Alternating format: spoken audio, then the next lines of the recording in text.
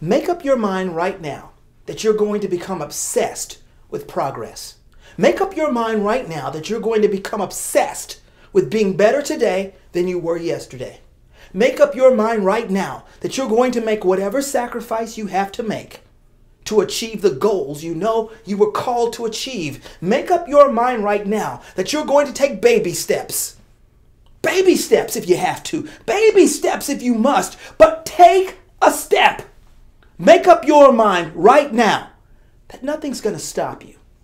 Nothing's going to pull you back from your own goals because you're obsessed with being what God called you to be. Be obsessed with you. Be obsessed with your purpose. Be obsessed with your plan and watch things work out. Trust God.